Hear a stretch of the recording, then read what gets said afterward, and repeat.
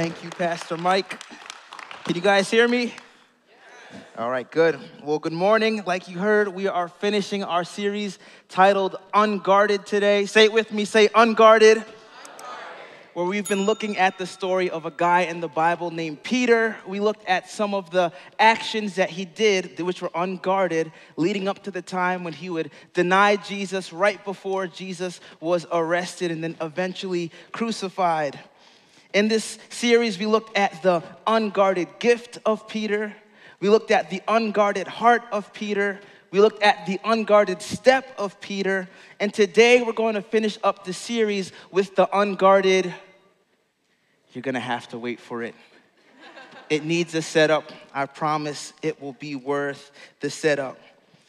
So, one time when I was a teenager here at the church, we were going to take a trip to a water park known as Mountain Creek. And it was a really hot summer this year, so we were all excited to go on this church trip. Not only was it a hot day, but you get to go to a water park with all your buddies from church. There's nothing like it. It's a field trip. It's exciting. We all know the feeling of going on a field trip. So I decided that I was going to ride in the car with Pastor Mike. He was my youth pastor at the time. And there was about six or seven of us in the car.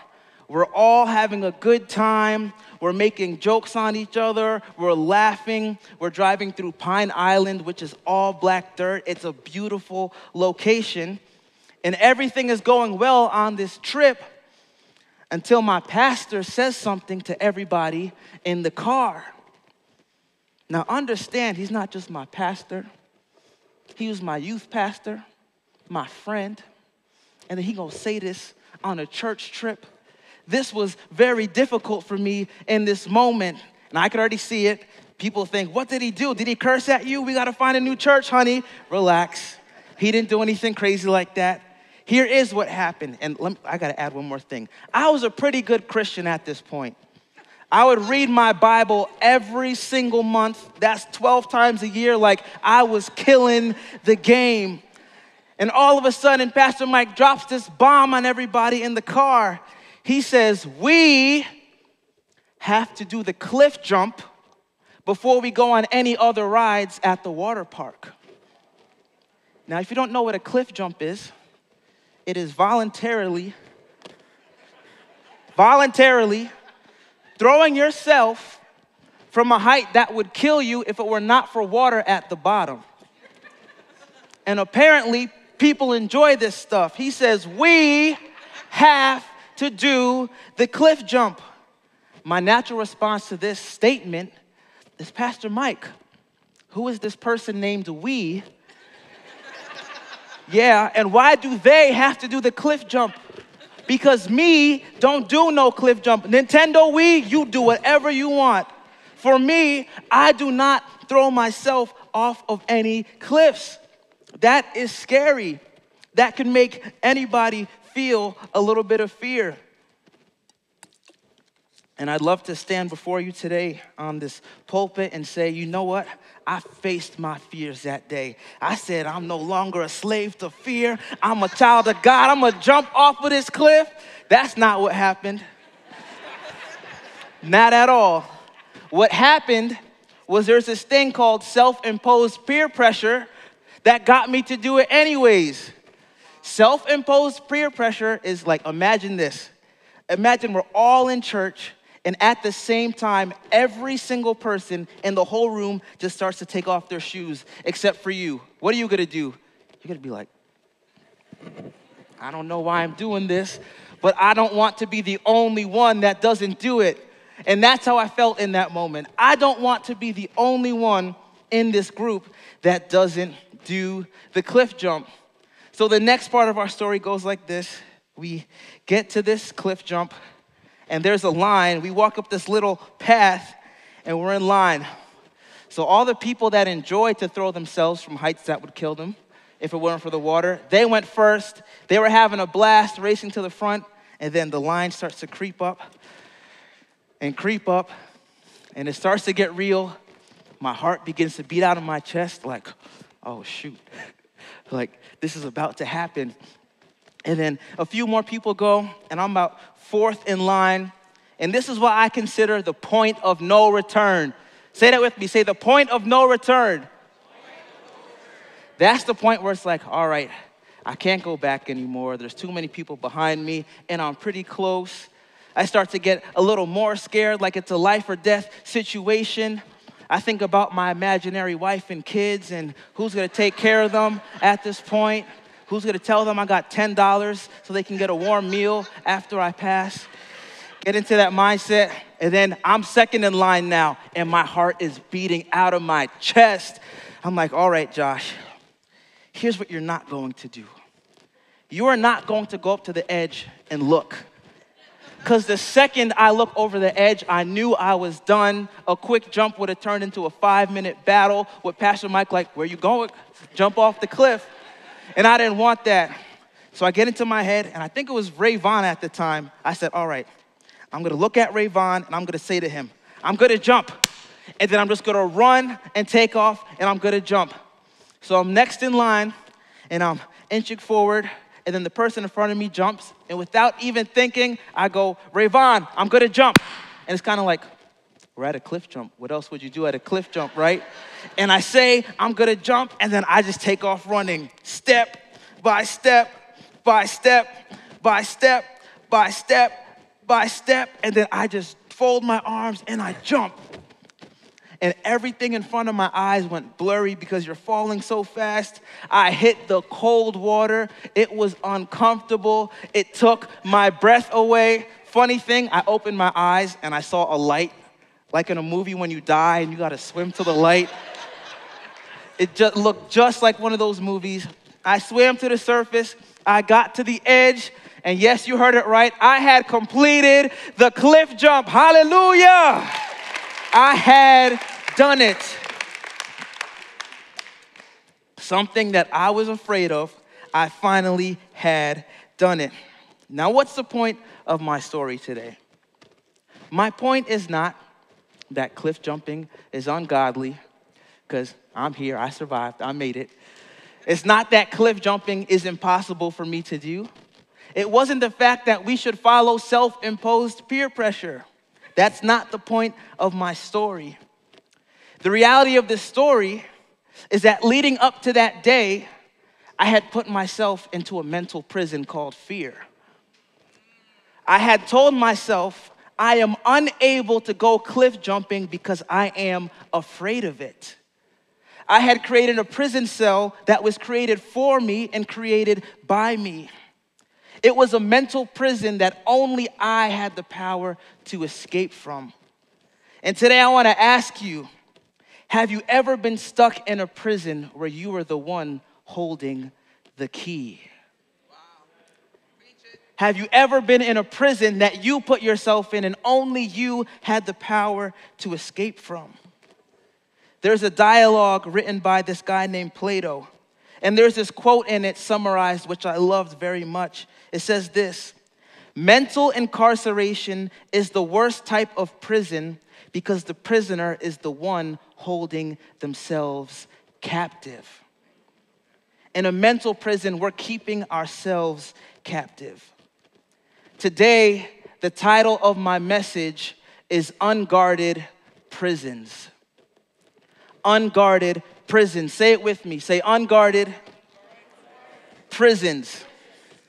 So, the unguarded prison is the prison that we create for ourselves.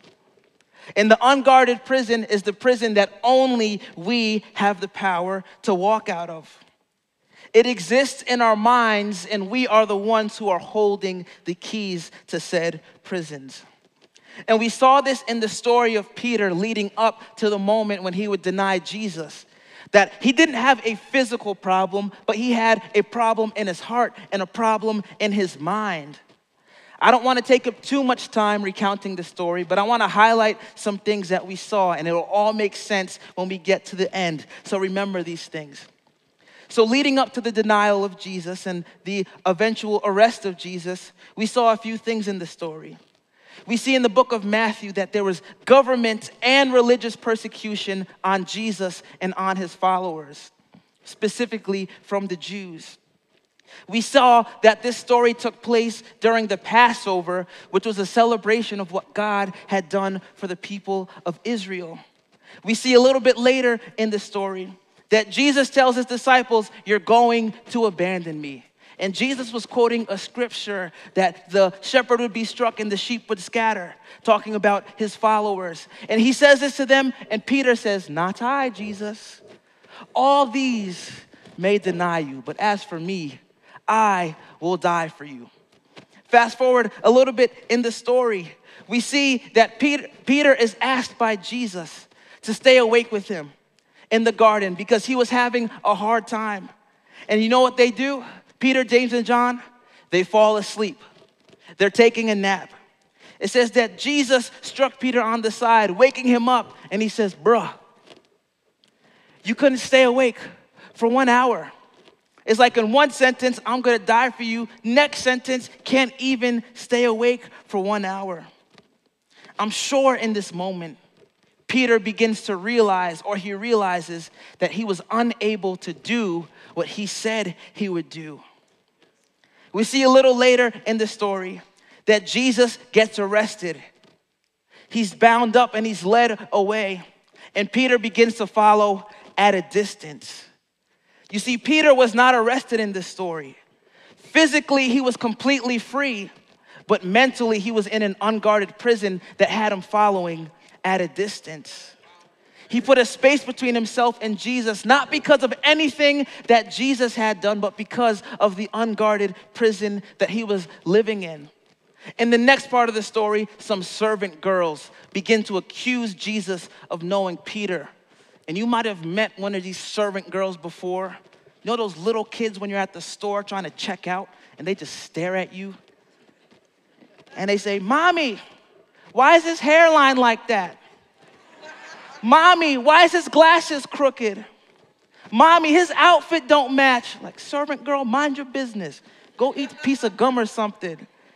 These servant girls accuse him. They say, You know Jesus. And he says, No, I don't.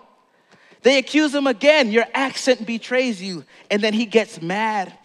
In Matthew 26, verse 74, it says this that Peter actually began to call down curses on himself. And he swore to everybody listening, I don't know the man, Jesus. It then says, immediately a rooster crowed. It then says that Peter remembered. Where do we remember things? In our mind. Unguarded prisons happen in the mind. He remembered the word that Jesus had said, Before the rooster crows, you will disown me three times. And then it says that Peter went outside and he wept bitterly. Now, I don't know what a bitter weep looks like, but I'm sure it's not pretty. I'm sure it's intense. I'm sure it might be kind of loud. Because inside of himself, Peter knows that he had failed to do what he said he could do. Once again, he's realizing he could not do the very thing he swore he would do. I'm sure in this moment he felt like he had failed Jesus. I'm sure he felt the shame of denying somebody that would never deny him. And it's in moments like these where we get low that we tend to build these unguarded prisons, these prisons in our mind. Maybe you felt this way before. You ever have one of those moments when you swore you never were going to do something again? This is it. I'm drawing a line in the sand. I made my Facebook post. I'm done with it. And then you do the exact thing that you swore you were never going to do. Only a few people have. It's not a fun feeling. It is not a fun feeling. And it's in those moments that we tend to build these prisons in our mind.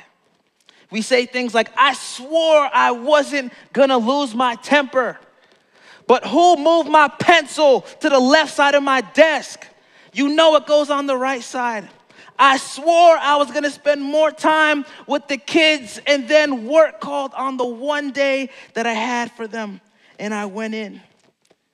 I swore I was gonna go to the gym, but here I am watching Netflix again. I swore I was gonna keep this diet, but why would God place a Chick fil A right on the route that I'm going in? I need to give God a Polynesian sauce praise right now. Whatever these things may be, I think we all know the feeling of creating a prison in our mind, especially when we fail. And one level is, I feel like I failed. A lower level is, I am a failure. And we can begin to go lower and lower and deeper into these prisons, into our heads. We say things like, Well, I guess I'm always gonna be this way. I guess I'm just a bad worker, a bad co worker, a bad parent. I guess I'm just undisciplined. I guess I'm just an addict. Whatever mental prison you might put yourself in today, I think you might know the feeling that Peter felt. Like you're a letdown, like you're a failure. And if that's you here today, I came with an announcement to make. That if you're living in a mental prison because of a mistake that you made or something that happened in your past, I need you to know this today that God is a God of second chances.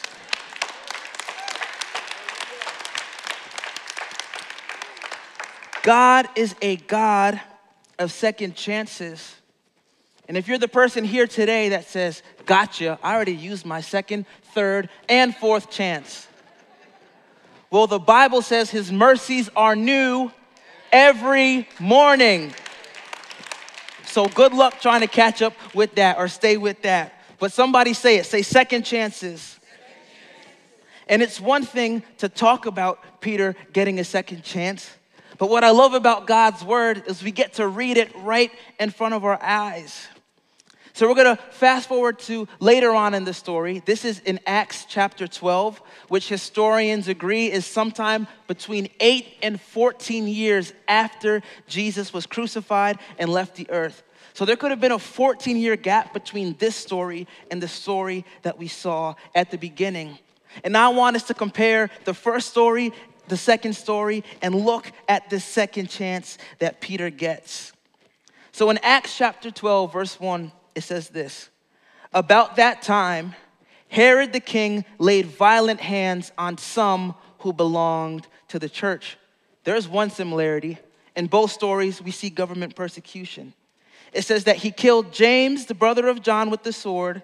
And when he saw that it pleased the Jews to religious persecution, he proceeded to arrest Peter also. Three, Jesus got arrested in the last story. This was during the days of unleavened bread, also known as the Passover. Four, and when he had seized him, he put him in prison, delivering him over to four squads of soldiers to guard him, intending after the Passover to bring him out to the people. Five, Jesus was brought before the people and they chose a man named Barabbas over him. I wonder if Peter is walking through this story in his mind and kind of saying, I know how this story ends. Doesn't this end in me dying? But I'm so glad that God is a God of second chances. Somebody say second chances.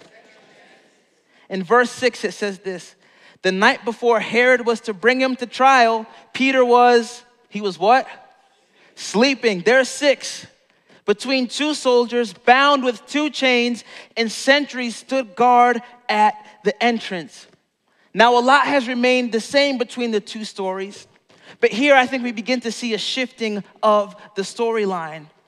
Because in the first story, we saw that Peter was physically free, but he was mentally bound, right? But in the next story that we're about to see, Peter is physically bound, yet mentally he's free. And it's amazing how this plays out. Let's read verse 7. It says, Suddenly, an angel of the Lord appeared, and a light shone in the cell. Isn't it amazing how God can show up to even the darkest places of our life? How the light of God could go into the darkest areas, the prison cells we feel stuck in. It says that he struck Peter on the side and he woke him up. And then he said, Quick, get up. and the chains fell off Peter's wrists. The chains fell off Peter's wrists. And this moment was critical to me as I was reading this story. Because we see that Peter's asleep, that he's in these chains, that he's held up, that he's bound, but something else happens this time around when he wakes up from his nap. Because in the first nap, Peter woke up with the realization that he wasn't able to do what he said he was gonna do. But in the second nap, he woke up with the revelation that God is able to do what he could never do. I'm gonna say that again. In the first nap, Peter woke up realizing, I failed. I couldn't do what I said I was gonna do. In the second nap, when Peter had no way out of escape, he woke up with the realization that God was able to remove the chains that he could never remove in his own strength. And today you might be in here and you're struggling with this idea of chains. And you're using all your energy trying to break these chains off of you that are, you feel are holding you back. I need you to know something today. That if you're using all your energy trying to break these chains, you might be trying to break something that Jesus broke 2,000 years ago on the cross.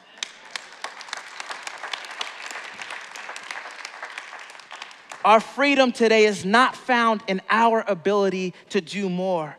God, I'm gonna pray more. I'm gonna fast more. I'm gonna do more. You cannot add on to the finished work of Jesus. You cannot add on to the finished work of Jesus. I remember when I was in college and we'd be taking a test and there would be something that would be said at the end pencils down. You know what pencils down means? It means if I see you even try to wiggle your arm, zero, zero, zero. Pencils down means we are finished. You know what Jesus did on the cross? He said, Satan, pencil down. Satan, keys down. Because the work was finished. There is nothing we can do to add onto what Jesus has already done. And our freedom today is not found because of our strength, but our freedom is found in what God is able to do, the things that we can never do in our own strength. Let's not focus on our chains today.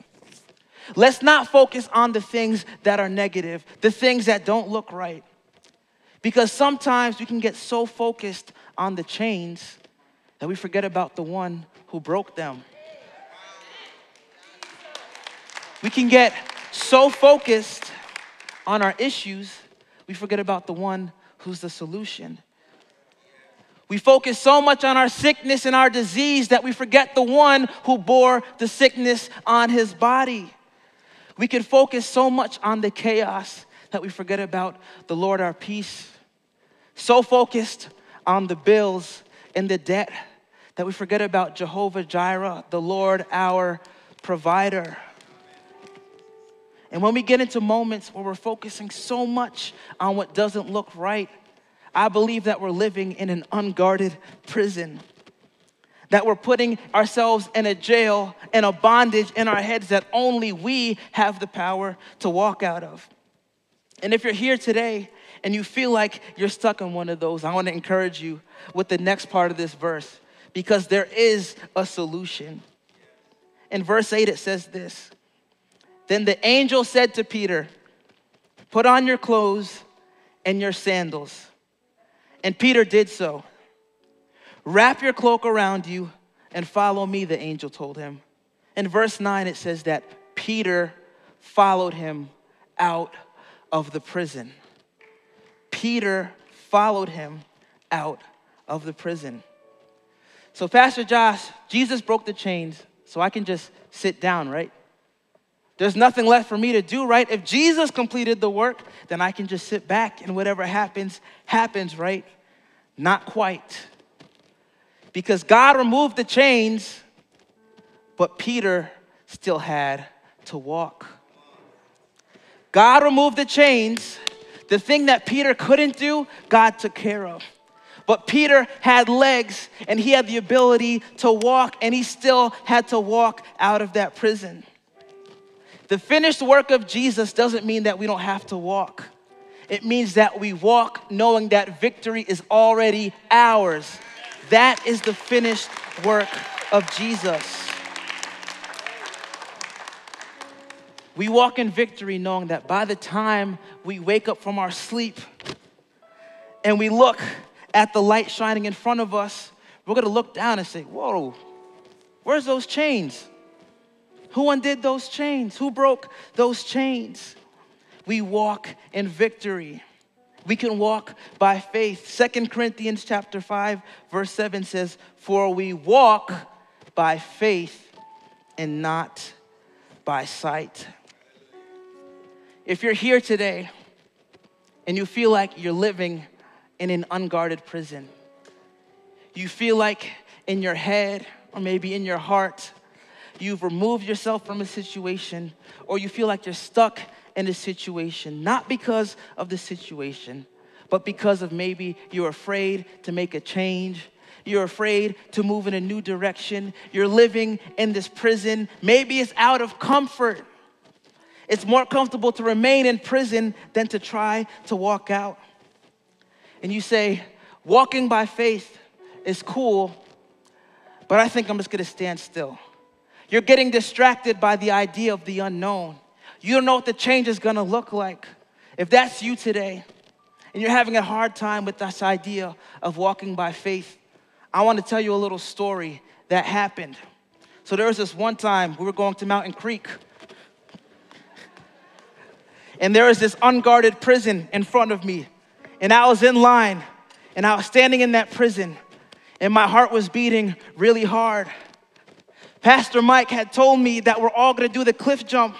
And on your ride to church today or on your ride through life, God told you, I need you to do the cliff jump. And you're scared. Your heart is beating because you don't know what's gonna happen. I'm gonna give you a little idea. I need you to look to the person on your left and look to the person on your right. Do it. Look, look at each other. Say, hey, girl. And I need you to look at your friend and tell your friend, I'm gonna jump. Tell the other person, I'm gonna jump.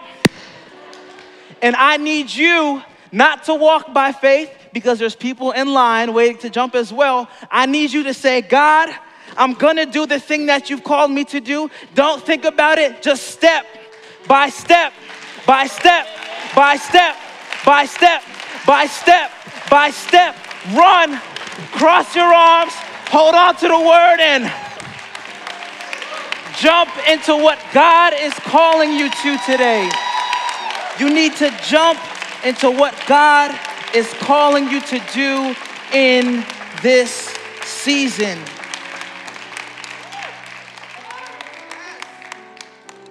The jump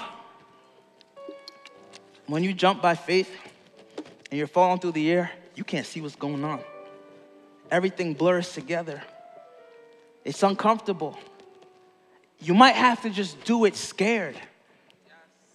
Faith is not the absence of fear, it's moving forward despite your fears. You might hit the water and it feels cold, and it might take your breath away to jump into a new season. And many times, because it's uncomfortable to follow God, we say, God, are you sure? It's really uncomfortable. But you know what the cold water was to me? It was a reminder that I'm still alive. When I felt the cold water, I knew that I had survived the jump. And sometimes we need to thank God for the cold water and not just the hot tubs. Because if I try to jump into a hot tub, my leg would do this weird thing right now because they'd be broken or maybe I would have been dead trying to jump into a little hot tub, trying to make that jump.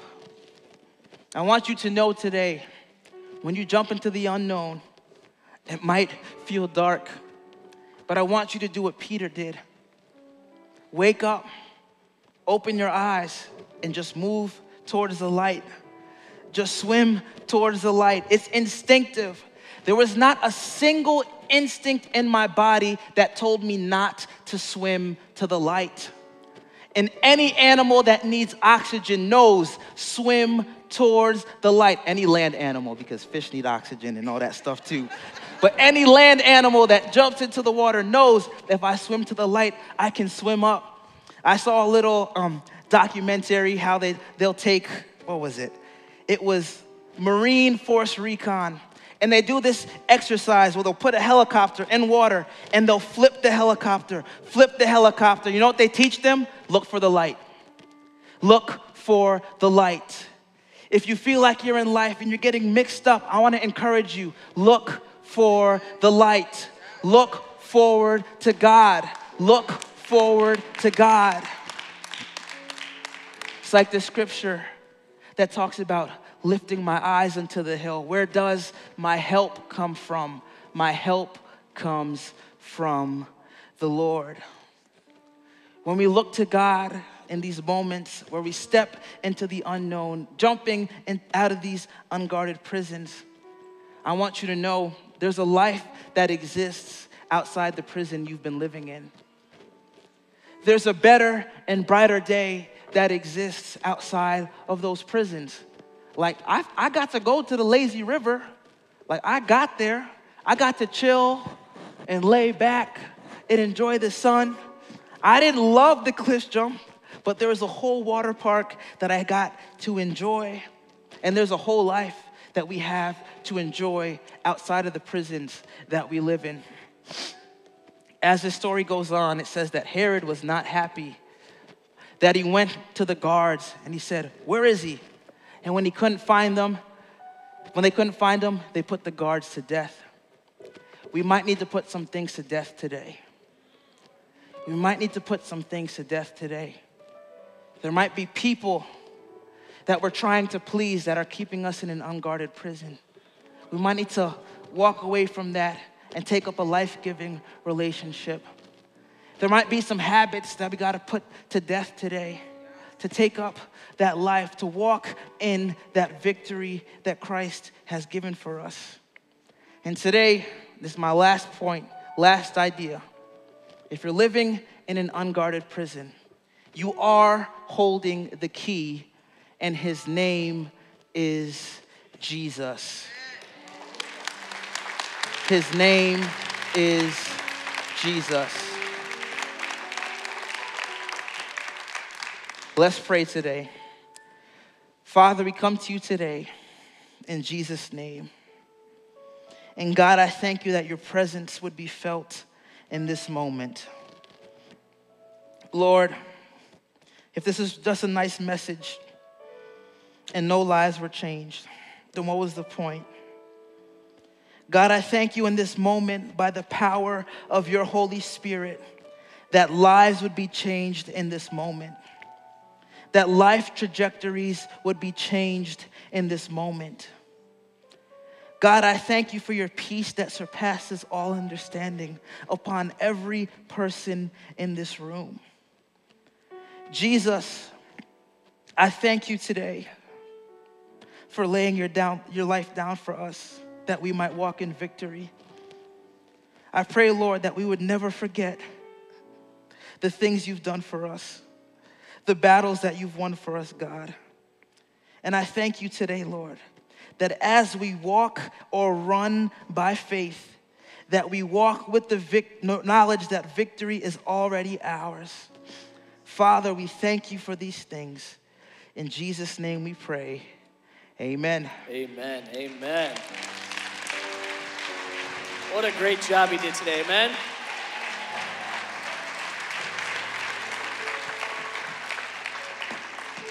So there's one part of this cliff jump story that he left out. Josh can't swim. Uh, he has 0% body fat. So, like, have you ever seen a wishing well where you throw a penny in and it sinks right to the bottom? That's Josh. Uh, so, beyond the fact of the fear of heights jumping off a cliff, he also knew he couldn't swim once he hit the water. Huh? I wanted to tell you today you may feel in life like you have to make a decision that puts you on the edge of an abyss. That you maybe feel like you're standing on a cliff to make a decision. And all and the, the height scares you, but what, what might even scare you more is the depth of the water. You have to remember this The water is deep at the bottom of a cliff, so it can absorb your impact. If it was shallow at the bottom, you'd break your legs, break your spine, and die. but the water's deep for your safety. And there's times that God's gonna call you out into deep water where you lose your footing, where you can't touch the bottom. And in, it's in those moments that He wants you to know that that's actually the safest place that you could be. Is when you're not in charge and you're not calling all the shots. He calls you out to a place. He's gonna call you out. Peter had to walk out by faith into a new place of unknown. I wanna offer that to you today that the, the, the, the biggest prison that you can find yourself in is the need for certainty. And in the world of uncertainty right now, you could be locked up so tight in a prison. Walk out of it. Walk out of it with the power of the Holy Spirit. Amen. Father, we thank you today for a word in season for us. We thank you that we can step out in by faith into the world that you've called us to be a light into. I thank you that this word is planted on good ground, reaping a harvest in due season. As we leave here today, Lord, we are blessed. We're blessed coming in, we'll be blessed going out. Everything we set our hands to would prosper and be successful in Jesus' name. Amen. Amen. We love you. Offering baskets are at the door on the way out.